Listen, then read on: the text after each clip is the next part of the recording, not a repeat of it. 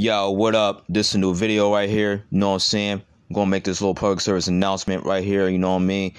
If y'all guys been following me for the last couple years, y'all guys know that I made an Instagram page, KRD1998. It was a very popular Instagram platform of mine. You know me, I? I had like 23k subscribers, but unfortunately, I got my page got took it down yesterday for some unfortunate reasons. But I decided to re-up again to make another Instagram no platform, but this time went for a different name, Metro Theme, as y'all see right here, you know, in the video.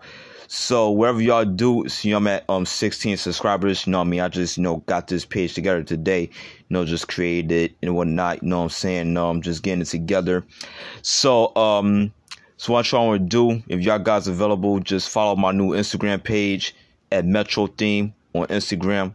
Repeat, Metro Theme on Instagram. Just give your boy a follow, man. Just stay tuned for and be updated for some more, you know, classic hip hop shit. You know what I'm saying? Like from the '90s, everything. You know what I mean? Like if y'all love the old school hip hop, if you're a fan of that era, this is the page for you to check out. You know what I mean? Like stay tuned. You know what I mean? Like more shit coming your way. You know what I'm saying? Like this is like a page to look out for.